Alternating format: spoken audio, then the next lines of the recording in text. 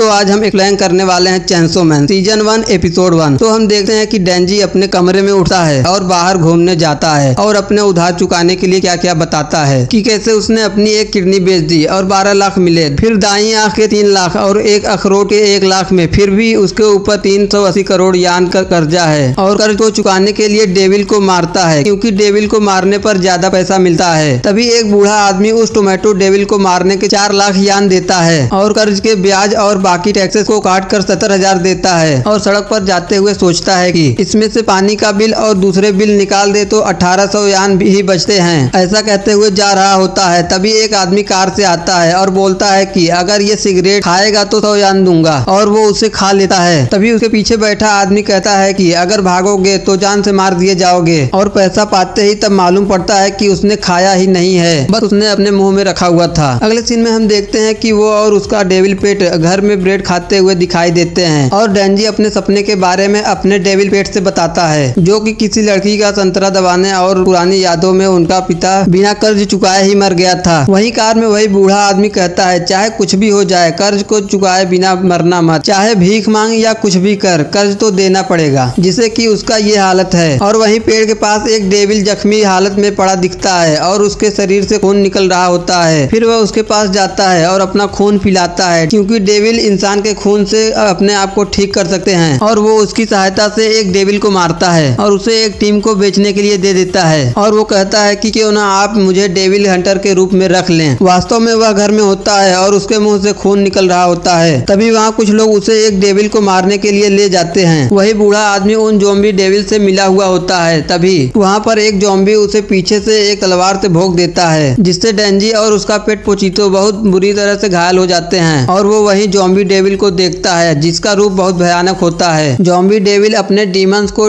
डेंजी के पीछे मारने के लिए लगा देता है, जिससे डेंजी पोचीटो को लेकर भागना शुरू कर देता है, पर उनका नसीब उनके खिलाफ होता है और सारे जॉम्बी डीमंस डेंजी को पकड़ लेते हैं और उसे काट कर कचरे में फेंक देते हैं। अगर आप यहाँ तक पहुँच चुके हैं तो इस वीडियो को लाइक और चैनल को सब्सक्राइब करके बेल आइकन को दबाना ना भूलें। तभी डेंजी का खून पोचीटो के मुँह में जाता है और वो अपने आप को डेंजी में डाल देता है और उसके बदले में उसके सपने के बारे में पूछता है, पर डेंजी जाग जाता है। अब वो बन चुका था एक चैंसो मैन और उन जॉम्बीज को मारते हुए जॉम्बी डेविल एक आँख फोड़ देता है और जॉम्बीज को मारते हुए वो जॉम्बी डेविल को बीच से काट देते हैं। जब सब मर जाते हैं, तभी वहाँ तीन लोग आते हैं, जिनमें से एक लड़की होती है, जो उसे देखती है और कहती है कि तुम्हारे शरीर से न ही डेविल और न ही इंसान की खुशबू आ रही है। क्या इन सबको तुमने मारा? पर डेंजी कहता है, मुझे पकड़ लो, तभी वह इंसान बन जाता है और वह बेहोश हो जाता है। वो इसलिए बेहोश हो जाता है क्योंकि डेविल बने रहने से उसके शरीर में खून की कमी हो गई थी। ये एपिसोड यहीं खत्म होता है। मिलते हैं अगले वीडियो में। तब तक के लिए बाय।